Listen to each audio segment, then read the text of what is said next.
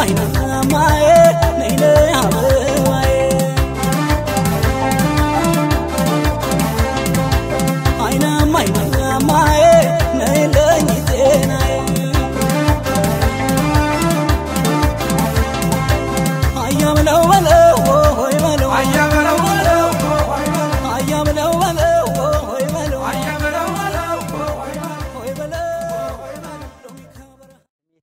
ይባላለሁ። ከሰብል ልማት ባለሙያ ነኝ። ወቅታችን ስንዴ በዙሪያ በጎን ለመጨመር የሚያስቸግሩ ችግሮች አሉ። የመጀመሪያው በላይ መበተን ነው። ሁለተኛ አረም ሳይታረም መጨመር፣ ሶስተኛ ፈር አለማልበስ፣ አራተኛው per ሄክታር የታዘዘለትን ሀሳቡ መሰረት አለመጠቀም። እነዚህ የመሳሰሉት ችግሮች ናቸው። እነዚህን ለመፍታት ዘዴው በዛሬው ዕለት በአቶ ሊ ብዲ መሬት ላይ ገንተን እንመማራለን። መጀመሪያው እስከ መጨረሻው ተከታተሉ።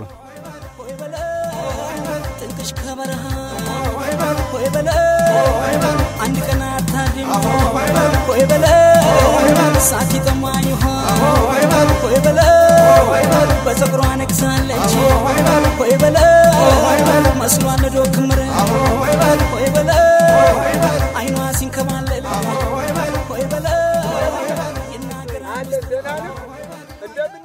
ሰላም ናችሁ?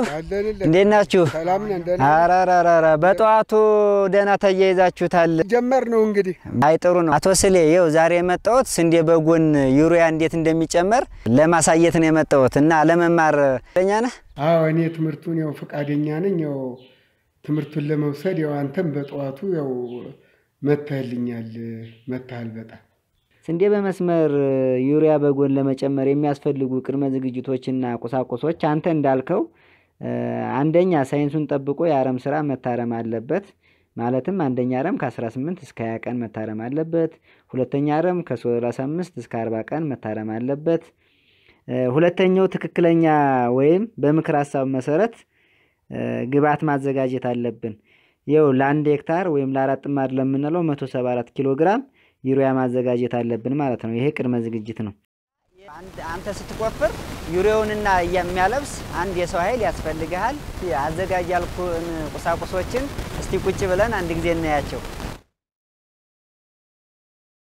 ሶስተኛ ቅድመ ዝግጅታችን መስመሩን ተከትለን የምንቆፍርበት መቆፈሪያ ያስፈልጋል ማለት ነው። ኛ ኮርኪ ለአንድ ሜትር ምን ያክል ወይም ለመቶ ሜትር ምን ያክል ግራም ያስፈልጋል ብሎ ለመወሰን ኮርኪ ያስፈልገናል ማለት ነው።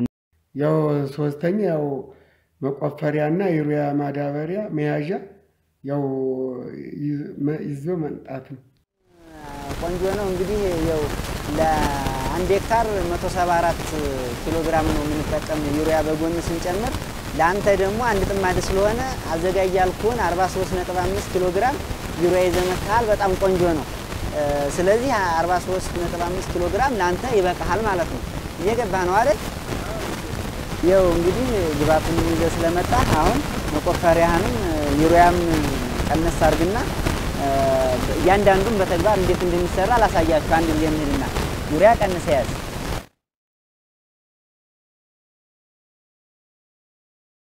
በጎን ስንዴ ላይ እንዴት እንደሚጨመር በተግባር ላሳያችሁ። ከዚያችን ጀምር እንሂድ። እንበልና እያንዳንዱን ነገር እንዴት እንደሚጨመር ላሳያችሁ። ስንዴ በጎን ሲጨመር ይኸው የስንዴ መስመሩ ይች ናት። ከስንዴ መስመሩ ከተክሉ አንስተን ዩሪያው የሚያርፍበት ሶስት እስከ አምስት ሴንቲሜትር መራቅ አለበት ማለት ነው ዩሪያው የሚያርፍበት። ስለዚህ አሁን የት ይሆናል ማለት ነው? ይሄ መስመሩ ከሆነ ከዚች እስከዚች ድረስ ከሶስት እስከ አምስት ሴንቲሜትር ራቅ ብለን እንቆፍራለን ማለት ነው። ከዚያ እንዲህ አድርገን ከቆፈርን በኋላ የራሱ ጥልቀትም አለው ማዳበሪያው ዩሪያው ጥልቀት ከከንፈሩ አንስቶ እስከሚያርፍበት ከሶስት እስከ አምስት ሴንቲሜትር መጥለቅ ስላለበት ከዚህ እስከዚህ ከሶስት እስከ አምስት ይሆናል ማለት ነው። ስለዚህ እንደዚህ እያደረግን እየዋጣን እንዲህ አድርገን እንዋጣለን። አንድ ሰው እንደዚህ አድርጎ ይዋጣል። ያው ከሰብሉ እስከ መስመሩ እስከሚወጣበት ድረስ ወይም ማዳበሪያ ዩሪያው እስከሚያርፍበት ድረስ ከሶስት እስከ አምስት ሴንቲሜትር መራቅ አለበት ብያለሁ።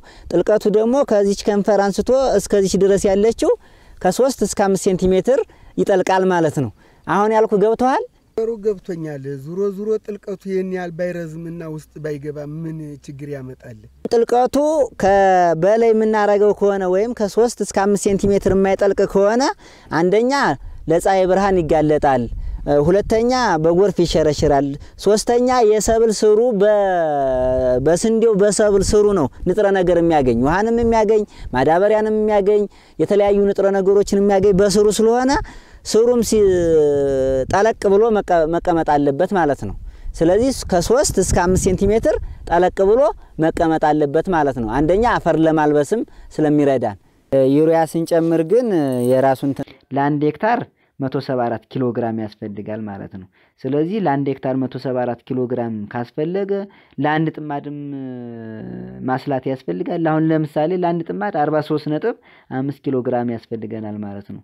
ወይም ለመቶ ሜትርም ማስላት እንችላለን። ለመቶ ሜትር 348 ግራም ወይም 87 ኮርኪ ወይም 22 እፉኝ ወይም ጭብጥ የምንለውን ለመቶ ሜትር ያስፈልገናል ማለት ነው። ጭብጥ የምትይዝ አምስት ነው። አንድ ሁለት ሶስት አራት አምስት እንዲህ አድርገን ነው የምንጨብጥ። ከጨበጥኩ በኋላ ያስፈልገኛል ማለት ነው። ግራም ስለመጣ ይቺ ኮርኪዋ አራት ስለሆነች ወደ አስራ ሰባት ከግማሽ ጭብጥ ያስፈልገኛል ማለት ነው። ከጫፍ ከዚች ጫፍ አንስቼ እስከዚያ ድረስ ማለት ነው። ለመቶ ለመቶ ሜትር 17 ከግማሽ ጭብጥ ያስፈልገኛል ወይም 348 ግራም ያስፈልገኛል ማለት ነው። ወይም በኮርኪ ከሆነ ደግሞ 87 ኮርኪ ያስፈልገኛል ማለት ነው። ስለዚህ አደራረጋችን ይኸው ከሰብሉ እስከ መስመር ያወጣሁበት ከ3 እስከ 5 ሴንቲሜትር ረቀናል ብያለሁ። ርቄ ነው የቆፈርኩት። ጥልቀቱም ከከንፈሩ እስከ ታች ያለው ከ3 እስከ 5 ሴንቲሜትር ጠልቀናል። አደራረጋችን ነው ማሳያ። አሁን እንዲህ እያረግን እንዲህ እያረግን እንሄዳለን ማለት ነው። ከዚያ እንደዚህ አድርገን ለአንዷ መስመር መቶ ለመቶም ለመቶ ሜትሯ 348 ግራም ታስፈልጋለች ማለት ነው። ያው እንግዲህ በላይ ከበተን ነው ከስንዴው እስከ ማዳበሪያው ያለው ርቀት ቅድም ስንላቸው የነበረውን ከ3 እስከ 5 ሴንቲሜትር ርቀቱን አይጠብቅልንም። ይሄ ማለት ደግሞ ከሶስት እስከ አምስት ሴንቲሜትር ርቀት የማናስቀምጠው ከሆነ ስንዴው ላይ ያርፋል። ስንዴው ላይ ካረፈ ደግሞ ስንዴውን ያቃጥለዋል። ስለዚህ ስንዴውን የሚያቃጥለው ከሆነ ምርት አይሰጠንም ማለት ነው። ስለዚህ በላይ መበተን አያስፈልግም ማለት ነው። ለንፋስ ለፀሐይና ለጎርፍ እንዳይጋለጥ በአፈር ማልበስ አለብኝ ማለት ነው። አምስት እስከ አርባ ባለው ቀን አረም ጽዱ ሆኖ ዩሪያ ይጨመርበታል ነው የሚል ለዚህ ምክንያቱ ምንድን ነው? ይህ ስንዴ ዩሪያ የሚፈልገው እንትን እና ለእድገቱ እና ምርት እንዴት እንደሚሰጠው የሚወስንበት ጊዜ ስለሆነ ከ35 እስከ 40 ቀን ባለው ሰዓት ዩሪያ መጨመር አለብን ማለት ነው። ላይ የምንበትነው ከሆነ በላይ ነው የሚቀመጥ። ዩሪያ በተፈጥሮው የመትነን ባህሪ ያለው በፀሐይ ይተናል፣ በጎርፍ ይታጠባል፣ በንፋስም ይተናል። የምንጨምርበት ትልቁ ነገር ምርትና ምርታማነትን ለመጨመር ነው። ያው አፈር ውስጥ የተሟላ ንጥረ ነገር ስለሌለ ዩሪያን የሚተካ አፈር ውስጥ ስለሌለ በጥናት ደረጃ ለሰብሉ አስፈላጊ የሚባል ንጥረ ነገር ስለሚይዝ ነው ዩሪያ ውስጥ ስላለ ማለት ነው። ስለዚህ አንደኛ እድገቱን የሚወስንበት ዩሪያ ስንጨምር ነው። ሁለተኛ ደግሞ ምርትን የምናሻሽልበት ዩሪያ ስንጨምር ነው። እድገቱ አደገ ማለት ደግሞ ገለባም እየጨመረ ይሄዳል ማለት ነው። ስለዚህ ለዚህ ለዚህ ይጠቅማል ዩሪያ። ዩሪያ ለስንዴ በጎን ስናደርግ ምን ምን ጥንቃቄስ ያስፈልጋቸዋል? የመጀመሪያው ከአረም ንጹህ መሆን አለበት ማለት ነው። ከአረም የጸዳ መሆን አለበት። ሁለተኛው መስመር አውጥተን በላይ መበተን ሳይሆን መስመር አውጥተን እየጨመርን መሄድ አለበት። ሶስተኛው በአፈር ማልበስ አለብን። የጨመርነውን የዩሪያ መጠን ምንም እንትን ሳይል ከፀሐይ ንክኪ ሳይኖረው በአፈር ማልበስ አለብን ማለት ነው። ማለት ይህንን ስንል ጥልቀቱ ከሶስት እስከ አምስት ሴንቲሜትር ጠለቅ አድርገን በአፈር ማልበስ አለብን ማለት ነው። ግልጽ ነው? ገብተዋል? ገብቶኛል። ግልጽ ነው። እሺ እንግዲህ ዛሬ ያየነው ስንዴ ዩሪያ በጎን እንዴት እንደሚጨመር ነው ስናየ ቆየን። ይህንን ልጅ ጋር ሆነህ ባሳየው መሰረት ቅድም ስንመማር በቆየንበት መሰረት ልጅ ጋር ሆነህ መጨረስ አለብህ። በጣም ጥሩ ነው። በለሽ በርታ፣ አይዟችሁ። እሺ እንግዲህ መቼም አትራቅ። ዙሮ ዙሮ ስራውን እንሰራዋለን። አንተም ብቅ እያልክ ማያት አለብህ። እሺ እሺ፣ እጎበኛችኋለሁ። እሺ እሺ፣ በርቱ። ተማርከን በጣም ትምህርቱን ተቀብለነዋል። እናመሰግናለን። እሺ፣ እኔም አመሰግናለሁ። ስንዴ በጎን ዩሪያ ለመጨመር የሚያስፈልጉ የትግበራ ነጥቦች አሉ። እነሱም የመጀመሪያው ከአረም ንጹህ መሆን ነው። የመጀመሪያ አረም ከ18 እስከ ቀን ይታረማል። የሁለተኛ አረም ከ35 እስከ 40 ቀን በታረመ እርጥበቱን ሳያለቅ እርጥበት ባለ ሰዓት ዩሪያ ከ35 እስከ 40 ቀን መጨመር ነው።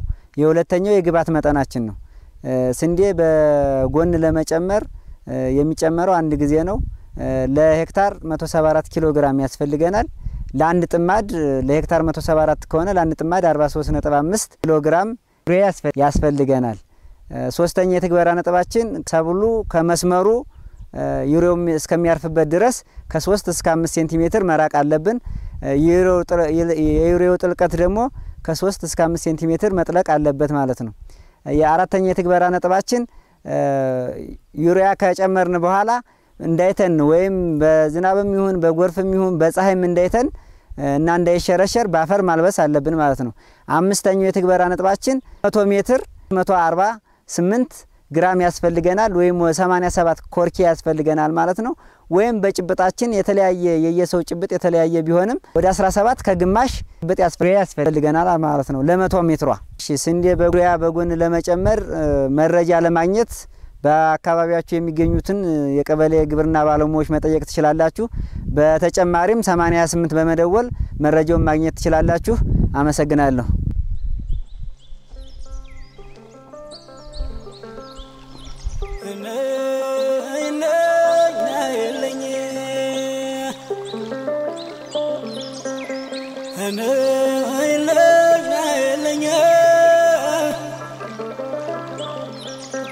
ናንቺው ባይናማ ናይነሽን ብሌው